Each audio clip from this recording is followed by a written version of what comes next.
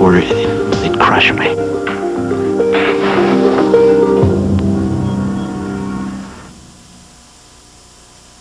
The White House responded to the murder. Has been put Again in the refinement tank at the west end of the plant. Row, row, row your boat gently down the stream. Merrily, merrily, merrily, merrily, life is but a dream. Row, row, row your boat gently down the stream. Merrily, merrily, merrily, merrily, life is but a dream. Row, row, row your boat gently down the stream. Merrily, merrily, merrily, merrily, preset camera two. Now we go in 30 seconds, I think I'm losing my mind. Your boat gently down the stream. Merrily, merrily, merrily, merrily. Life is but a dream. Ready for your weekly girl? Like a double cheeseburger with onions. You're ordering the water, Captain. Room service. Room service. down the stream. Coming! Merrily, merrily, merrily, merrily, life is but a dream. Row, row, row.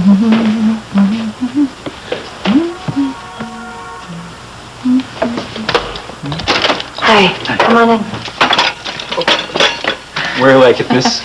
Um, by the bed.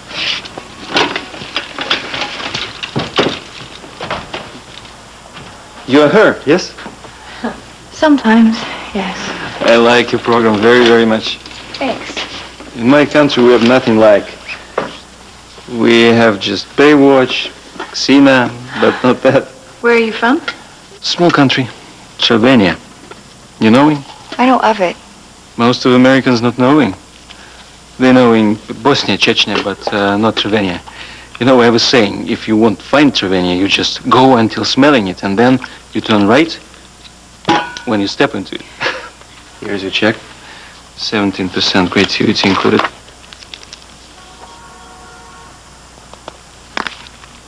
Thanks.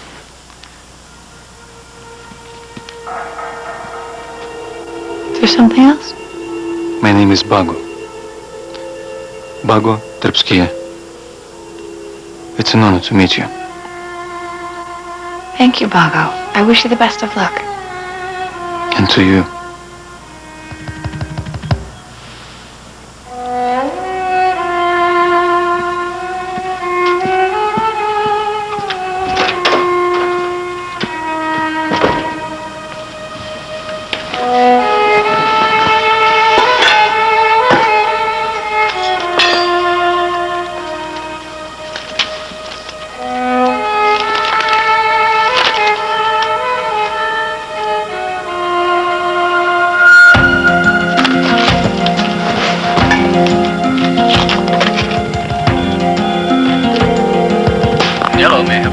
Service? Yes, ma'am. There was a server here, um, Bago something.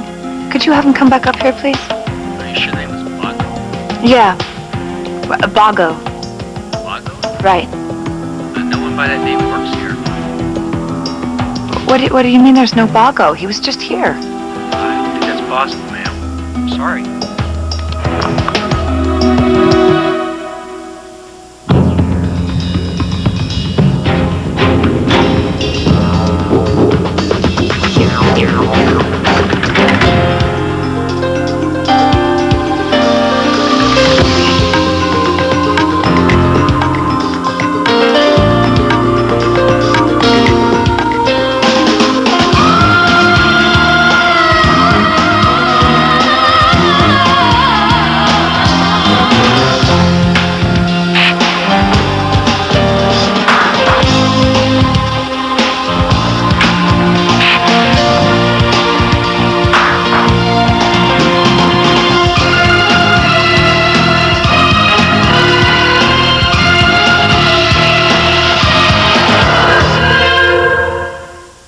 Dot-com corporations are offering their employees 12 weeks severance pay if they sign away their right to sue.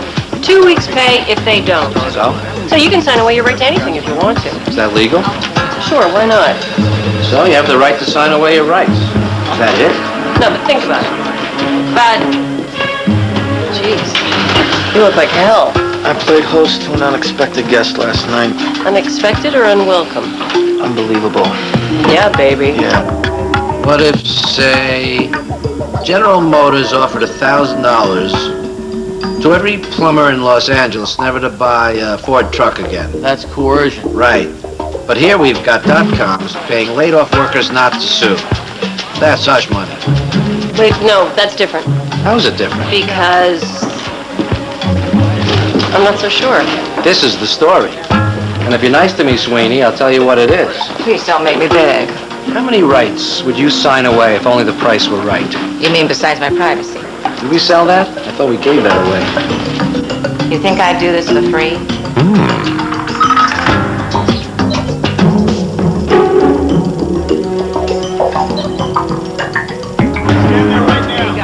Nice cake. Jackson, can I see you? Alice, listen. I think I got a great idea for a cooking show. A what? Yeah, but our kind of cooking show. Something different, something with an edge. And this is the title I have in mind. Cooking with Angst. Cooking with angst? How do you cook with angst? Well, first we find an angry chef, and then we invite on a celebrity who's had a difficult time that week. You know, a politician who's down for the count, a movie star whose movie was a big flop, And they cook. with angst. You see, they pound that meat with a vengeance. They choose spices that suit their mood, like paprika for depression, like cloves for, uh, Claustrophobia. Yes, cloves for claustrophobia. And then every segment is going to end with a special dinner. Just imagine. Lewinsky serves mutton to Tripp. Why would she eat it? Why? Because they're on TV. Jackson, I really need to talk to you. Yeah, so talk. No, off. Off camera. Harry's on the perch. You're okay. Take a look at this. This Travinian guy left it folded up in my room service napkin. An hour later, they found the real waiter tied up in the housekeeping closet. You think this is legitimate? Well, if it is, then you've got a rogue state with a secret cache of chemical weapons, a violation of the 1997 Helsinki Accord, and Travinia has an ironclad defense pact with the Russians. So? So, why risk sanctions for illegal weapons that you don't need unless someone's giving you a good price for them? And why pay a good price for chemical weapons, Jackson, that you don't intend to use? Don't you think you're taking an awfully big leap from a badly misspelled letter? You don't even have a verifiable source. I think that if it walks like a duck and it quacks like a duck, then it's probably a duck. Hey, uh, Tamir, come on in a minute, would you? All right, Alice. Hello, Tamir. Tamir, what do you know about Travinia? Um, bastard child of Eastern Europe. Major black market. Former Soviet satellite, and I think they have an ex-KGB agent as their president. And I thought he used to be a car salesman. Yeah, and Tony Soprano's in garbage management.